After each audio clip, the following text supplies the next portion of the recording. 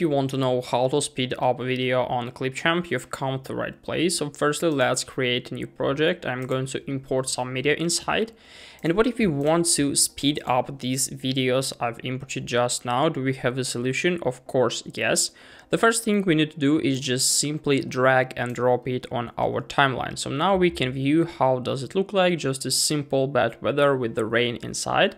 And what if we need to speed it up? So we have a solution. Basically, we need to click on our video on this timeline. So now it'll be like, uh, it has green border inside. And after that, we need to click on speed in the right side menu right up here. So we'll open these uh, settings. So now we can change it. So we can increase the speed. As you can see, we can make it like twice faster, four times faster, and 16 times faster. So it depends on your purposes, on your aims. So now our video looks like this. As you can see, the rain goes much, much faster. So we can, the same way, we can easily decrease the speed. This is like a normal speed now. And this is 2x speed by uh, the Clipchamp. So after that, basically everything is ready. We can also like resize it, do some other stuff.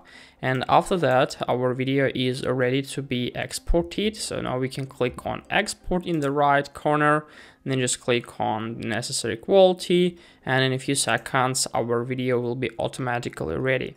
So this is the only one way of how can we interact with a speeding up video. We can do the same with our own videos or we can use like templates, stock videos and so on.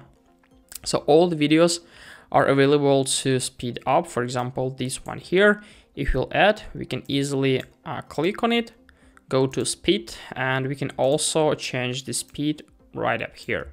So now, as you can see, it moves much, much faster. So this is a way of how can we speed up video on Clipchamp. Hope this video helped you out. Please leave a like, comment, subscribe. Wish you a very good day. Goodbye.